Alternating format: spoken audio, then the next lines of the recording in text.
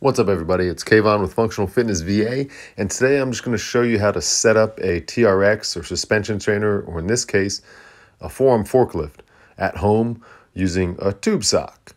Uh, so, different tube sock, but tube sock nonetheless. You want to put the ends together so you have a loop on one end, and then where the ends are together, you're going to tie a little knot. Right. This could take some work, especially if your tube sock isn't too long. This one that I have here goes up to about knee height on me, so it's a pretty long sock and it still requires some work.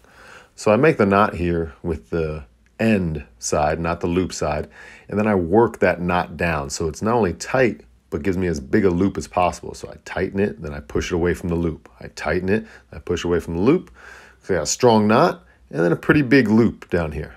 Right now I'm ready to take that and put it in my door.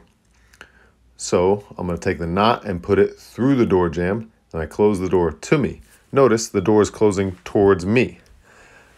So when I click it in place here, when it latches, it's not going to pop open. That knot is all the way through, the loop is hanging out. I give it a tug, make sure it's in place, and you can feed through, again, my forearm forklift or your TRX Again, give it a tug, make sure it's in place so you don't fall, doesn't pop out of the door, and then feel free to use it a bunch.